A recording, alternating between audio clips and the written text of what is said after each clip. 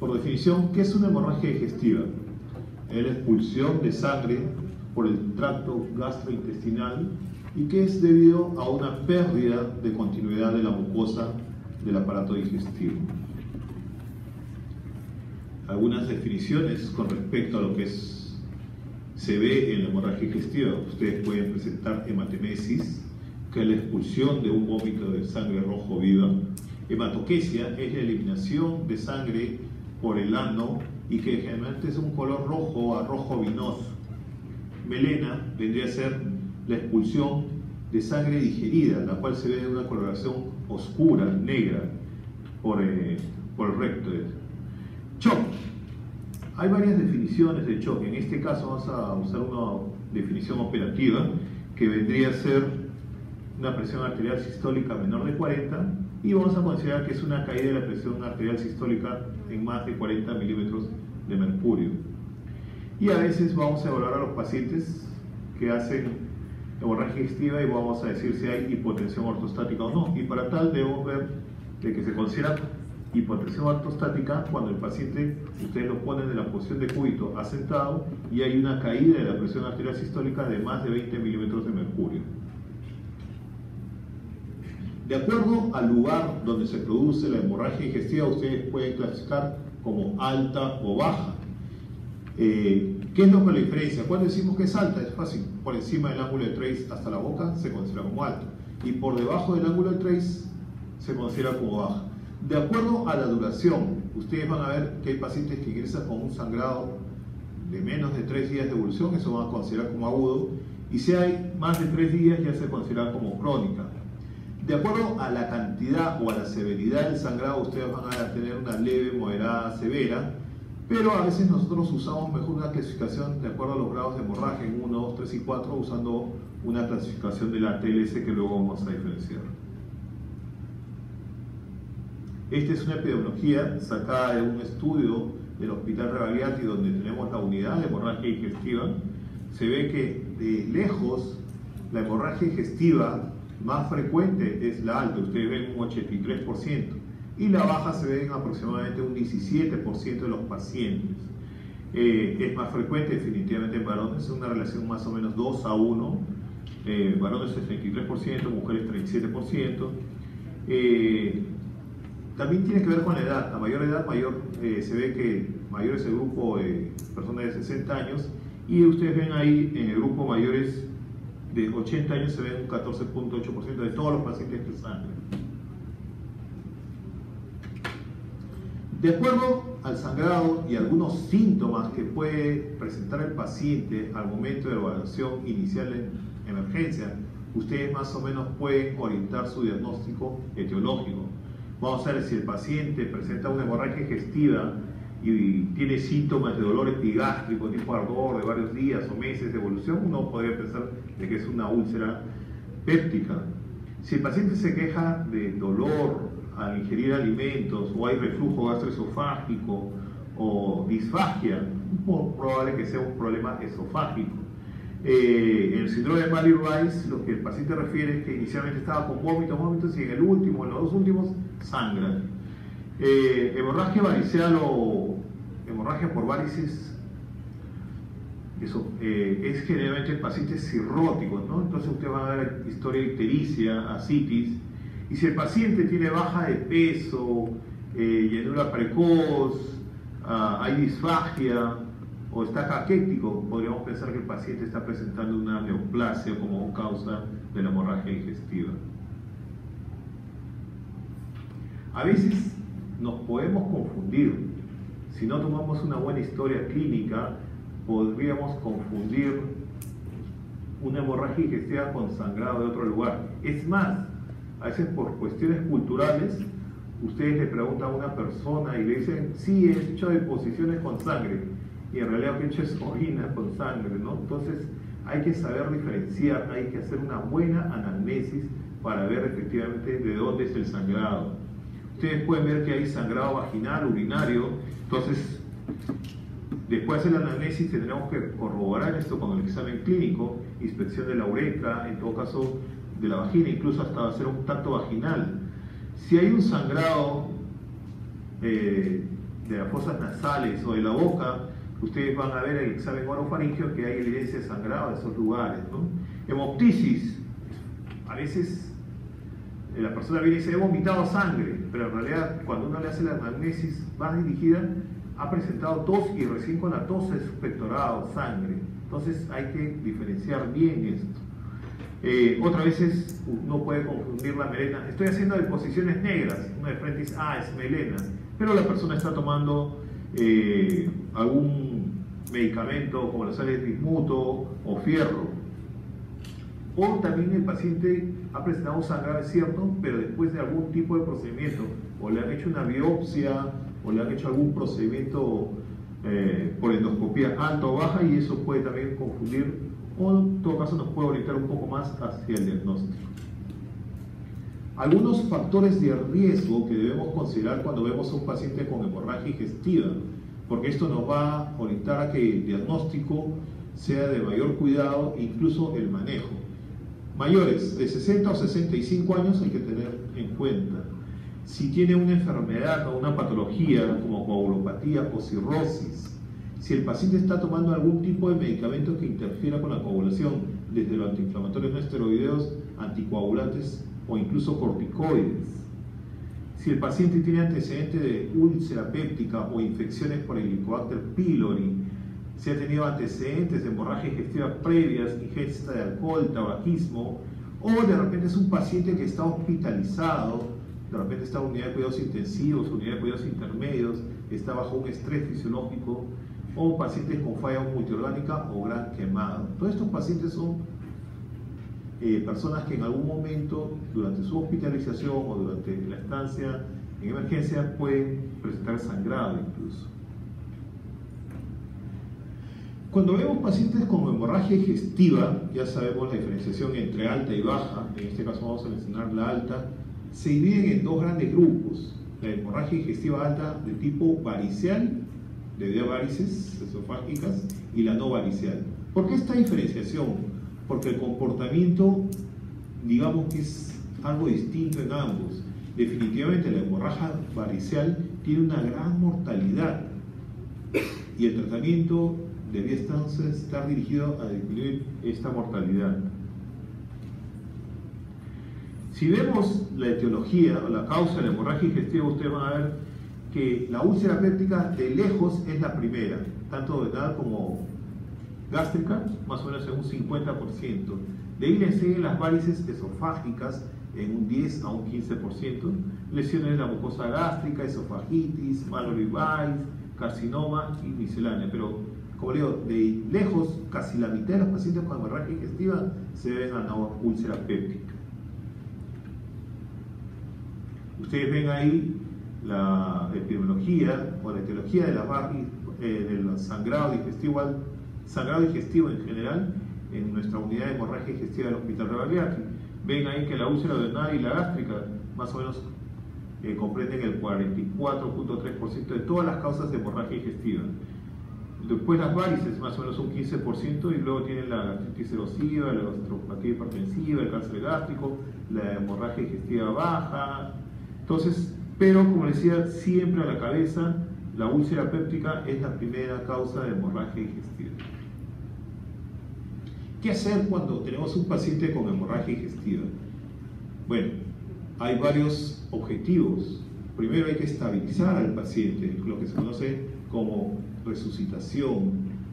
Eh, muchas veces el paciente puede tener un sangrado mm, sin compromiso hemodinámico, pero otras veces sí llega un sangrado masivo y el paciente está en shock. Entonces habrá que actuar de acuerdo a cómo está el paciente. Resucitar, eh, tomar las primeras medidas para que este paciente no se complique más. Hay que evacuar el estómago. Eh, algunos proponen la hiperacción por solución salina, actualmente ya no se propone. En todo caso, se coloca una zona nasogástrica y se aspira la mayor cantidad de sangre que se pueda para facilitar posteriormente la endoscopía. Eh, en el caso de que se sospeche una úlcera péptica, podría usarse inhibidores de la bomba de protones o ranitidina. Siempre en la recitación hay que canalizar dos buenas vías periféricas para ir hidratando y si el paciente lo requiere, en todo caso, pasar componentes sanguíneos. En algunos casos seleccionados, infusión de vasopresina, endoscopía de urgencia, tanto para hacer el diagnóstico como para hacer tratamiento. Si es que no funciona o el sangrado continuo, se hará embolización y si al final el paciente, a pesar de estas medidas, sigue con sangrado, tendrá indicación de cirugía, donde tendrá que ver el riesgo que presenta el paciente y también la lesión. Si es una lesión que conlleva un riesgo alto, será candidato a cirugía. ¿Qué hacer en la resucitación? Como decía, controlar funciones vitales, ver el estado hemodinámico del paciente. Si el paciente está con hipotensión, taquicárdico, pálido, frialdad distal, es un paciente en shock, habrá que actuar como tal. Eh, como decía, colocar dos buenas vías periféricas de grueso calibre e infundir solución salina, lactato, con tal de mejorar el estado hemodinámico. Tendremos que tomar muestras de sangre, sobre todo para ver la hemoglobina, hematocrito, el hemograma, eh, bioquímica, perfil hepático de coagulación y no se olviden siempre solicitar grupo sanguíneo y un frasquito para pruebas cruzadas. O sea, es muy probable que si el paciente está chocado, lo tengamos que transfundir. El grupo sanguíneo, inmediatamente las pruebas cruzadas, porque con esto nos va dando tiempo. Una prueba cruzada generalmente en el hospital demora 45 minutos a una hora. Ahora, definitivamente, si el paciente está chocado y tenemos que pasarle sangre urgente, lo haremos transfusión simplemente con el grupo sanguíneo y con el grupo más compatible que se pueda dar al paciente. ¿Qué hay con respecto a la zona nasogástrica? Como les decía, actualmente el uso es restringido. Eh, lo que se hace es colocar una zona, aspirar el contenido para permitir posteriormente la endoscopía, tratando de evacuar toda la cantidad de sangre que pueda presentar el estómago. Aparte, nos va a ayudar a corroborar el diagnóstico. Y parece mentira, pero el contenido de la zona nasogástrica también nos puede dar cierto pronóstico.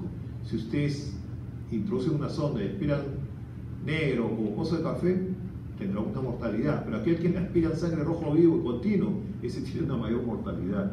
Ahora, recuerden, la sonda nasogástrica nos ayuda a corroborar el diagnóstico, pero hay pacientes en los cuales también puede ser un aspirado negativo. Esto se ve más o menos en un 15 a un 20% de los pacientes. Después de hacer el aspirado gástrico, retirar la sonda, y como decía, ya no se recomienda el lavado gástrico. Antes recuerdo cuando era interno, decían colocar sonda, y infundir eh, por la sonda solución salina y si se puede con hielo mejor y hacer un lavado Ahora ya no se recomienda eso. Acá están todos los exámenes que deben solicitar, hemograma, bioquímica, perfil de coagulación, hepático, grupo, RH, pruebas cruzadas, y si el paciente está con compromiso respiratorio o hay evidencia de shock, habrá que ver unos gases arteriales. Algunas placas que nos pueden ayudar al paciente con hemorragia digestiva. Radiografía de abdomen, si es que presenta alguna complicación probable por la hemorragia digestiva que hasta incluso pueden perforarse. Ecografía, sobre todo si estamos pensando que el paciente pueda presentar una cirrosis o una neoplasia. EKG si el paciente está con compromiso hemodinámico. Y también si hay vómito y riesgo de aspiración, como puede pasar en los pacientes cirróticos, una placa de tórax. Estudios especializados definitivamente la endoscopía es la que estaría indicada en este caso. Y en otros casos donde no se pueda controlar el sangrado, angiografía.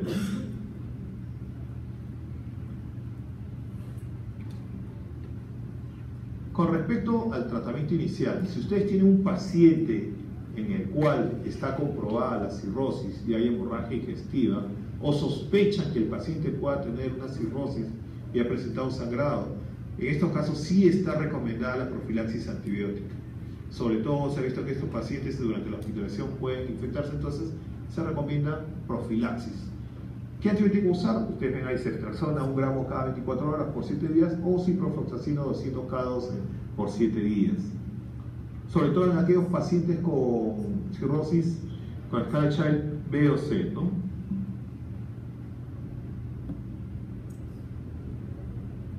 La indicación de los inhibidores de bomba de protones, omeprazol, esomeprazol, lasoprazol, están indicados sobre todo en pacientes con hemorragia digestiva, se da un bolo, en este caso omeprazol puede ser 80 miligramos en bolo y luego 40 miligramos cada 12 horas, con el fin de que la lesión que se pueda observar en la endoscopía eh, disminuya o su pronóstico sea mejor.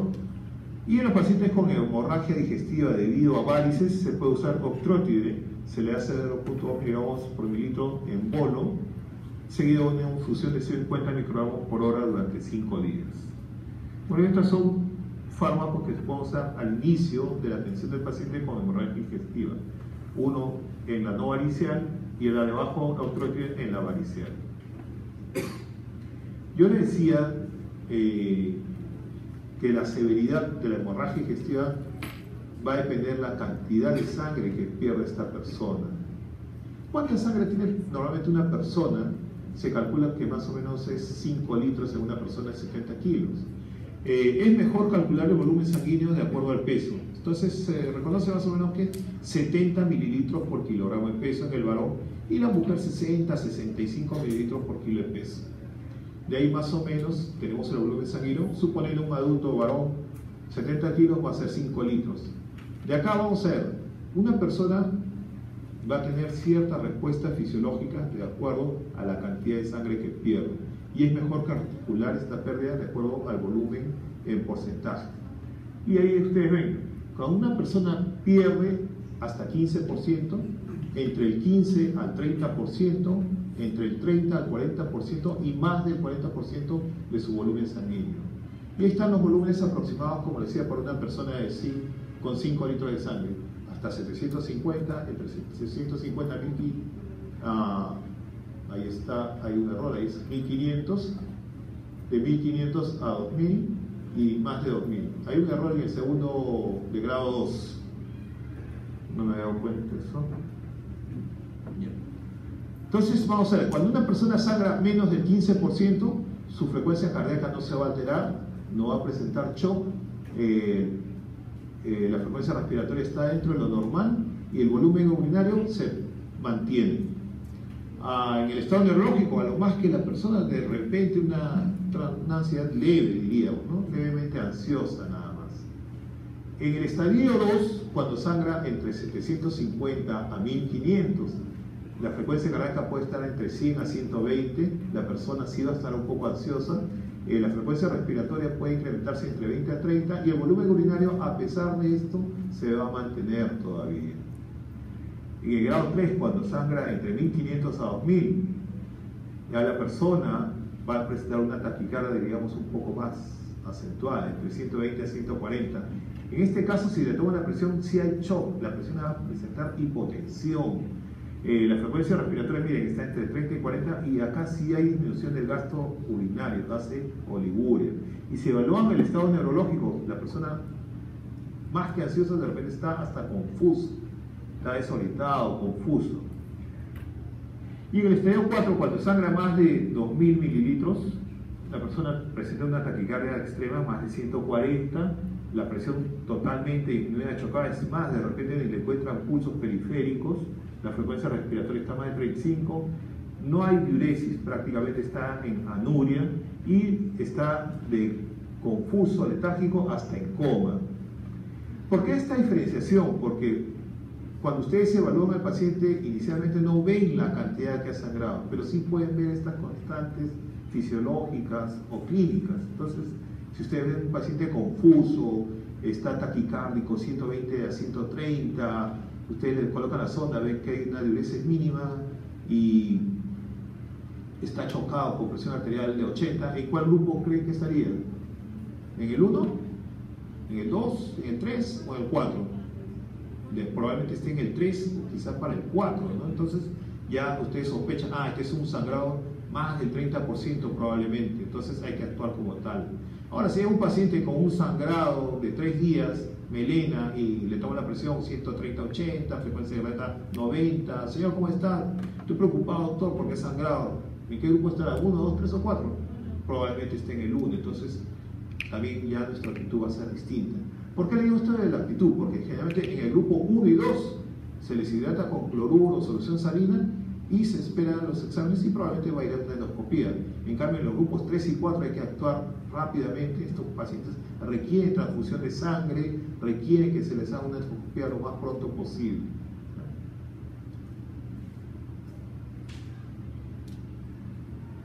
Vamos a ver.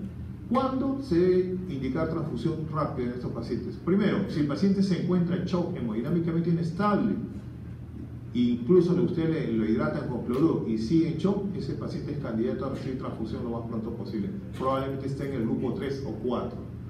Después, si ustedes le toman los análisis y la persona tiene una hemoglobina menor a 7, menos de 7, es otro candidato a, a recibir transfusión de paquete regular.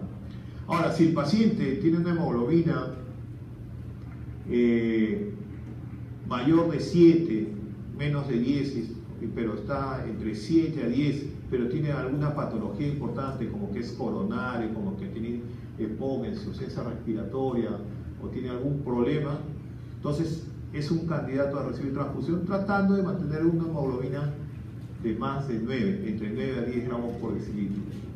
Ahora, definitivamente, si ustedes tienen un paciente, como decía, con shock, le toman un AGA y ven que la hemoglobina está en 12, esa hemoglobina no refleja en realidad el estado del paciente. Ese paciente tiene un sangrado continuo, si está en shock hemodinámicamente inestable, a pesar de esa hemoglobina, yo iba haciendo pruebas cruzadas porque es un candidato a transfusión. Bueno, algunos pacientes que vemos en emergencia tienen trastorno de coagulación, ya sea por la enfermedad de fondo o porque están recibiendo algún tipo de tratamiento. ¿Qué hacer en estos pacientes? Bueno, si el paciente tiene una enfermedad de fondo y tiene un trastorno de coagulación, trataremos de corregir. Ahora, si este trastorno de coagulación es por una medida terapéutica, eh, le estamos dando algún tipo de anticoagulante, entonces si la anticoagulación está dentro del rango terapéutico, podríamos dejarlo ahí y hacer endoscopia. Pero si está por encima del rango terapéutico, tendremos que administrar componentes para mejorar esto, ya sea plasma fresco o componentes de la población. Un aspecto muy importante en emergencia es ver el riesgo que presenta el paciente a su ingreso. Yo tengo un paciente en emergencia, mi actitud en la evaluación inicial y el tratamiento debe ser de tal manera que el riesgo de este paciente de mortalidad disminuya. Entonces, para eso yo a veces hago uso de algunas escalas, algunos indicadores que me pueden predecir el riesgo de mortalidad y en base a eso también actúo. En lo que es hemorragia digestiva existen dos escalas. Una que usa datos clínicos y de laboratorio para identificar el riesgo o ver qué paciente se encuentra en riesgo y la otra que usa estos datos clínicos más los hallazgos y el diagnóstico de la endoscopía. Ustedes ven ahí los nombres, escala de Blatchford, Glasgow Blatchford, y la escala de Rockhart. Bueno, estas escalas habrán aparecido hace unos 15, 20 años, ¿no? Yo recuerdo cuando era interno, veía con pacientes con hemorragia digestiva y con mi médico asistente, ¿no? Veíamos esto la mortalidad de acuerdo a los hallazgos del tacto rectal y el aspirado de la sonda nasogástrica. Si ustedes aspiraban por la sonda nasogástrica contenido negro como pozos de café y al tacto rectal era melena, la mortalidad de este grupo de pacientes era más o menos un 9%. Si aspiraban negro, disculpen, si aspiraban rojo y tenían deposiciones negras, su mortalidad aumentaba 12%. Ahora, si yo aspiraba negro, pero las deposiciones eran rojas, una mortalidad de un 20%. Ahora, si ambos, el aspirado como las deposiciones eran rojas, miren la mortalidad se le va a un 30%. Entonces, esto nos orientaba, ah, viene con melena y hematemesis color café, actuamos, manejamos al paciente pero aquel que llegaba y salía rojo por arriba y rojo por abajo, uno de cada tres se moría. En ese teníamos que actuar rápidamente porque tenía mayor mortalidad. Esta es la escala de Bradford. ¿Qué parámetros usan? Ven ustedes la urea, la hemoglobina, la presión arterial sistólica y si tenía alguna enfermedad concomitante. Eh, ven la hemoglobina más de 10, menos de 10, entre 10 a 12 y más de 12 en varones le da una puntuación. La presión arterial sistólica también menos de 90, más de 110, y se tenía insuficiencia cardíaca, hepática, si se presentaba inicialmente con síncope, con melenas o, la presión o el pulso era más de 100 latidos por minuto. Se le da una puntuación, se sumaban los cuatro parámetros ABCDE y se tenía un puntaje que como máximo llegaba a 23. Y lo mínimo en estos casos iba a ser eh, cero, ¿no? Podría ser hasta cero.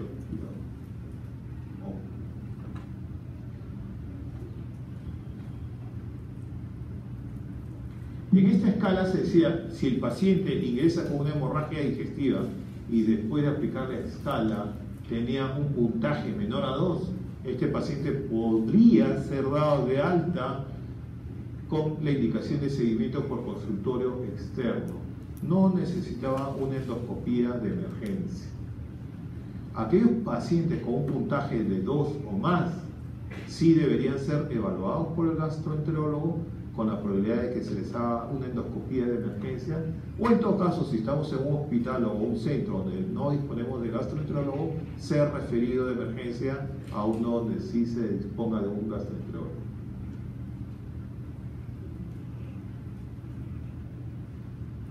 Bueno, el estudio principal, sobre todo para hacer diagnóstico y para hacer tratamiento también en estos pacientes, es la endoscopía. ¿Cuándo hacer una endoscopía? Bueno, vimos ¿no? ya en la escala de Blackford, si el paciente tenía un puntaje de 2 o más, probablemente tendría que hacerse una endoscopía. ¿Pero cuándo? En la mayoría de los pacientes debe hacerse una endoscopía dentro de las primeras 24 horas después del ingreso.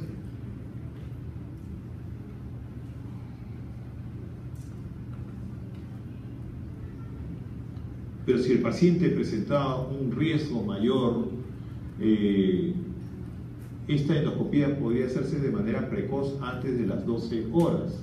Aparte que esta endoscopía antes de las 12 horas acortaba la estancia hospitalaria, disminuía costos por este motivo.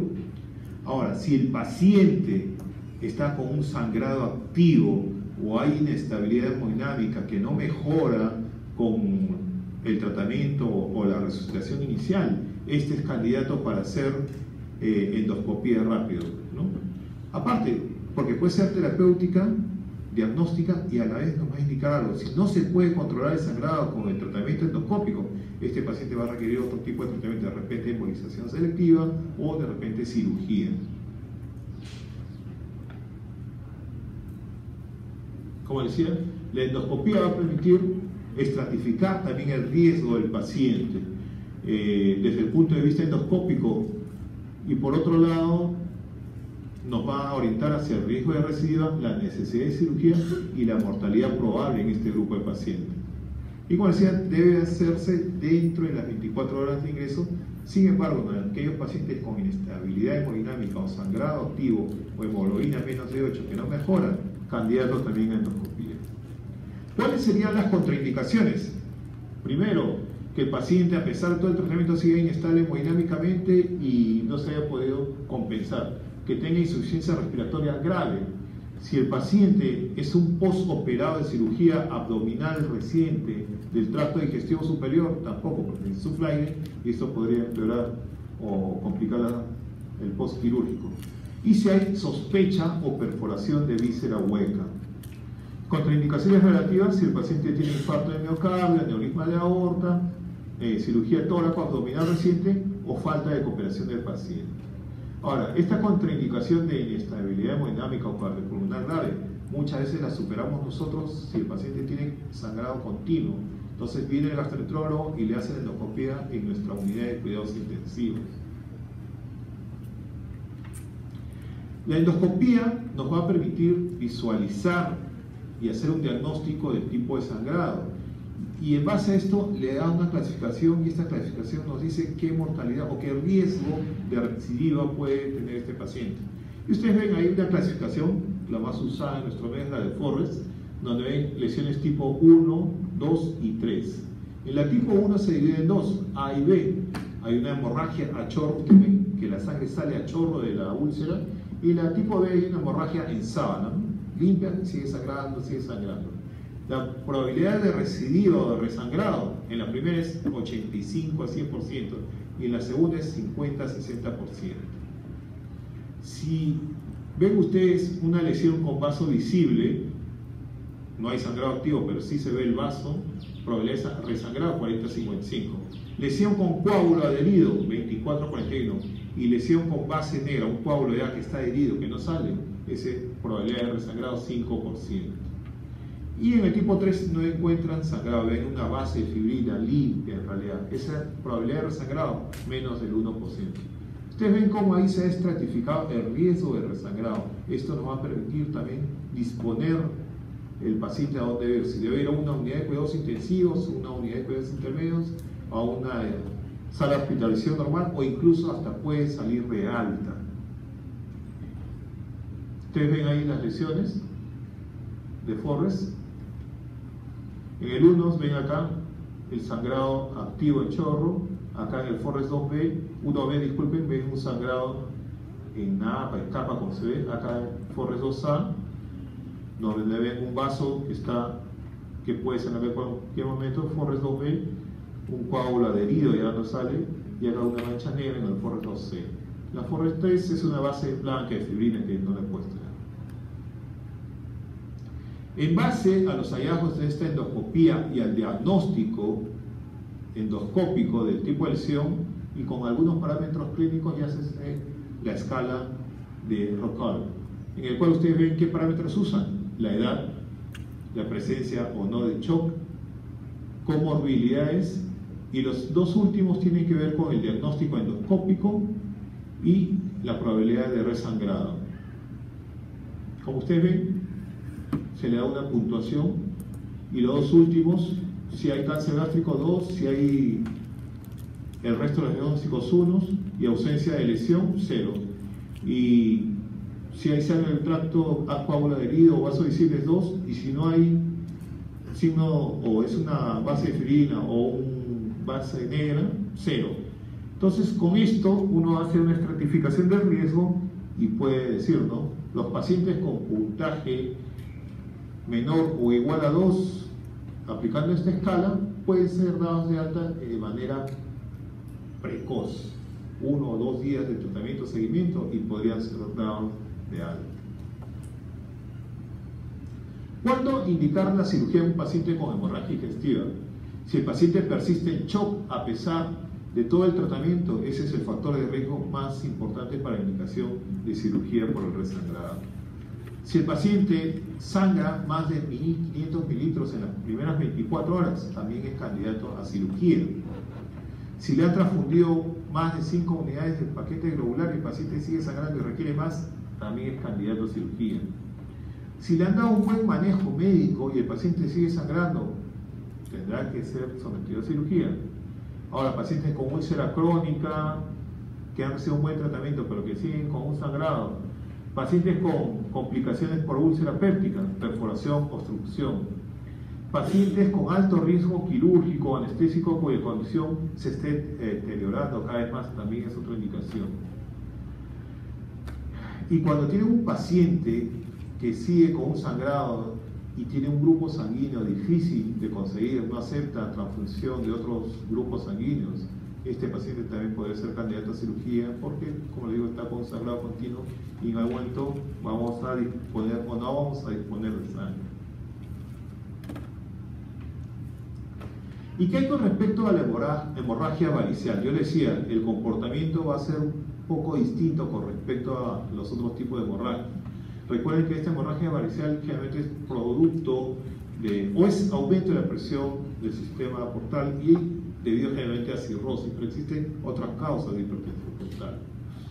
Eh, se puede usar somatostatina con el fin de disminuir la presión venosa y análogo como austrótido o terlipresina. No hay en nuestro medio terlipresina. Como decía también, profilaxis antibiótica. Estos pacientes se complican muchas veces con infecciones.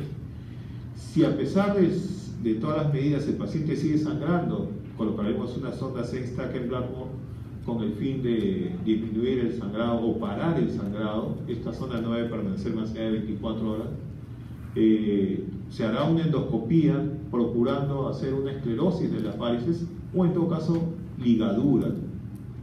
Si no funciona, sigue el sangrado, cirugía o en todo caso hacer una derivación portosistémica eh, colocando un stent en la vía, por vía transyugular.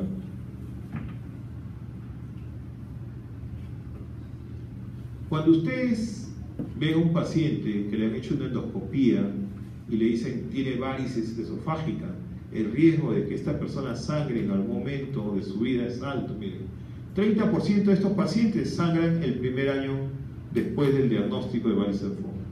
La mortalidad. La mortalidad va a variar mucho si es un paciente cirrótico de su estadio. En el Child A, la mortalidad es menos del 10%, mientras que en la Child C puede llegar hasta 70%, más del 70%.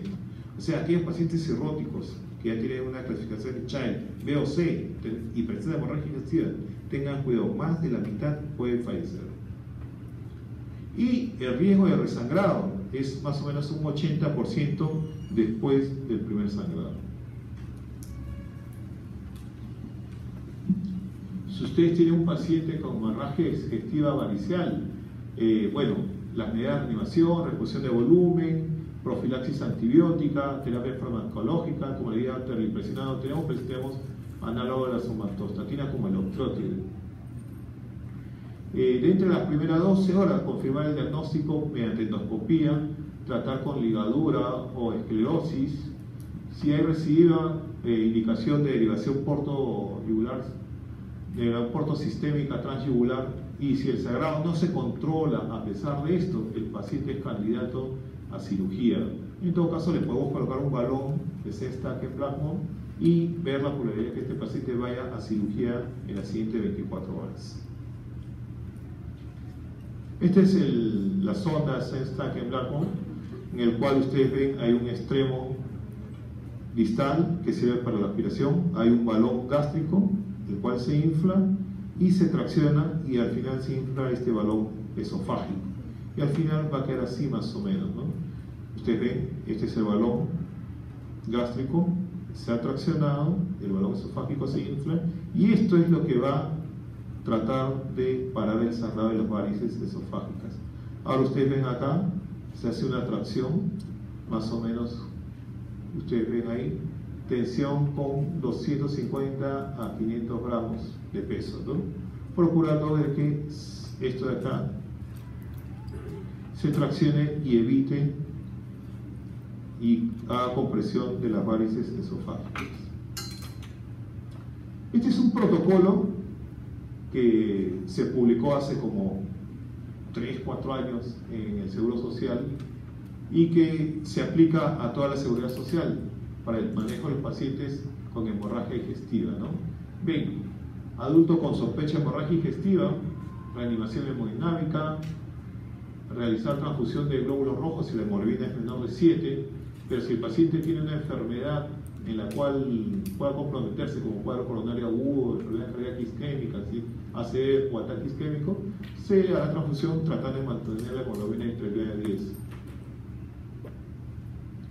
Pero si el paciente está hemodinámicamente inestable o con un sangrado continuo, en esos casos sí habrá que hacer transfusión de paquete globular según lo que el paciente requiera. Y en aquellos pacientes con sangrado, probablemente por varices esofágicas, y no se pueda realizar una endoscopia rápida, lo que se sugiere colocar una sonda de Stacking, la cual debe retirarse antes de las 24 horas. Una vez que hemos estabilizado reanimado a nuestro paciente, aplicar la escala de Glasgow-Blatchford, la que le decía, si es uno o menos, dar de alta sin necesidad de endoscopia con la referencia por consultor externo para hacerle posteriormente una endoscopia de tipo electiva y avisar siempre al paciente sobre los riesgos que pueda presentar, ¿no? signos de alarma para que regrese a emergencia. Si tiene una escala de Blatchford de 2 o más, omeprazol 80 miligramos intravenoso de seguida de 40 cada 12 horas, con el fin, como le digo, de disminuir las lesiones que puedan encontrarse en la endoscopía. Si el paciente sospechamos que puede ser una hemorragia digestiva de tipo varicial, antibióticos, profilaxis antibiótica y octrótide a la dosis que ven ahí, 0,2 miligramos por litro, 50 microgramos en bolo, seguida de una infusión de 50 microgramos por 5 días. Y hacer la endoscopía dentro de las 24 horas, pero hay indicaciones para también endoscopía más pronta, ¿no? Endoscopía. Eh, idealmente antes de las 24 horas Antes de las 12 horas, eh, pacientes con alta sospecha de sangrado activo.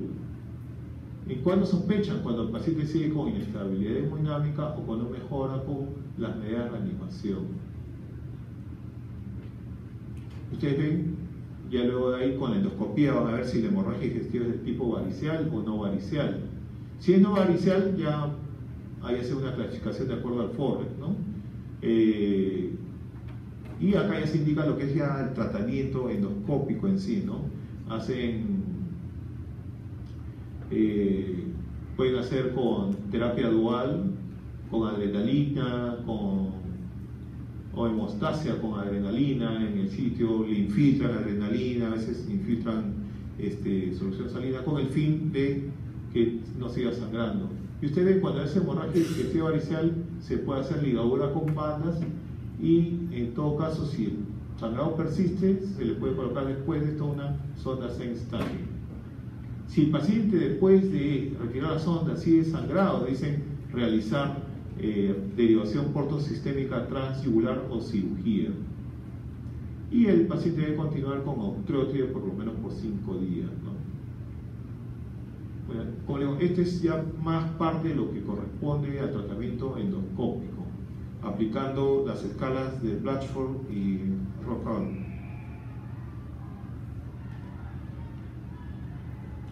¿Qué hay con respecto a la hemorragia digestiva? Ya les mencioné, la más frecuente es la hemorragia digestiva alta. Y la baja, ustedes ven, eh, más o menos se ve un 13 hasta un 17%. Y dentro de las causas de hemorragia digestiva baja tenemos a la diverticulosis a la cabeza, enfermedad diverticular, seguida cáncer o pólipos y luego colitis. Entonces cuando ustedes ven un paciente con hemorragia digestiva baja, hay múltiples opciones diagnósticas, pero siempre piensen de que el paciente pueda tener una enfermedad diverticular como causa de este sangrado.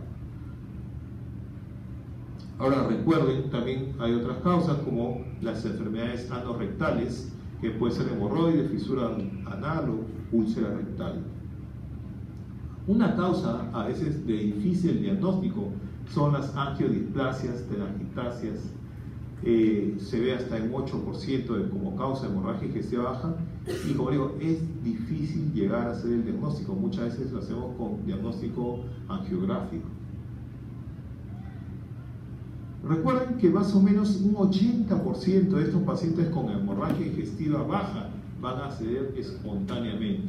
O sea, mm, eh, difícil ver un paciente con un sangrado continuo. Generalmente llegan sangrado, los mantenemos en observación, reposo, NPO, hidratación, transfusión si es necesario y el sangrado cede espontáneamente. Si el paciente cede, se estabiliza, puede hacerse un tacto rectal, inspección anal o una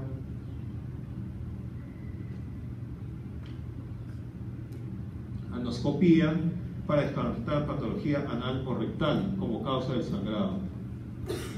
En realidad en la hemorragia digestiva baja no existe un tratamiento terapéutico específico, va a depender muchas veces del diagnóstico de fondo. Eh, si el paciente sigue con un sangrado digestivo bajo, a pesar de las medidas terapéuticas, es probable que este paciente requiera tratamiento de tipo eh, quirúrgico o una embolización para eh, disminuir el sangrado. Lo importante en estos pacientes va a ser a su ingreso a emergencia estabilizarlos, eh, hacer la resucitación inicial observarlos. Como le digo, la mayoría va a ceder y después se hará una colonoscopía o una anoscopía diagnóstica. Y a veces en la colonoscopía, si es una enfermedad diverticular, se puede hacer un tratamiento. Pero muchas veces si el paciente sigue sangrando, sangrando a pesar de las medidas iniciales, es muy probable, si es una enfermedad diverticular y si está comprometido todo el colon, que este paciente requiera tratamiento quirúrgico. Las causas más frecuentes, como decía, de la hemorragia digestiva, la hemorragia digestiva baja es la de los divertículos y la displasia del colon, que más o menos ceden en un 90% de manera espontánea. Eso sería todo. Bueno, para recalcarles, en primer lugar, cuando ustedes tienen un paciente con hemorragia digestiva, determinen bien el lugar del sangrado. ¿Es alto o es bajo? Estratifiquen, eh, bueno, el riesgo, si es un paciente con alto riesgo o bajo riesgo. Pueden usar alguna de las escalas, como decía, simplemente viendo el tipo de sangrado por boca y por recto, usted va a decir, este tiene mayor probabilidad de muerte y este no. Evalúen el estado hemodinámico, como digo, aplicando eh, estos criterios de hemorragia, menos del 15, entre el 15 y el 30, el 30 al 40 y más del 40%, ustedes van a decir, ah, este tiene un sangrado grave o este no, este requiere sangre, este no. Pueden aplicar las escalas de eh, Blatchford y con eso también van a decir, requiere endoscopía urgente o puedo darle de alta y mandarlo por consultorio externo. Otra cosa más, la endoscopía es diagnóstica y terapéutica. Nos va a permitir ver el tipo de lesión, tratarla y la probabilidad de resangrado que pueda tener este paciente de acuerdo a los hallazgos de la endoscopía. Y según eso vamos a tener su disposición. Puede pasar a la UCI si es un alto riesgo, a intermedio si es un riesgo moderado, o de repente a hospitalización general si el riesgo es bajo.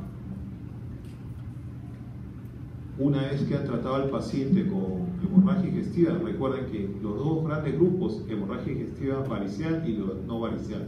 La varicial tiene un mayor riesgo de mortalidad que puede variar entre un 10 hasta un 70% dependiendo del estadio de la cirrosis que presente este paciente. Y con respecto a la hemorragia digestiva baja, lo principal es la eh, reanimación, estabilizar al paciente y hacer una colonoscopia diagnóstica y recuerden, más del 80, 90% va a ser de manera espontánea. ¿Alguna pregunta?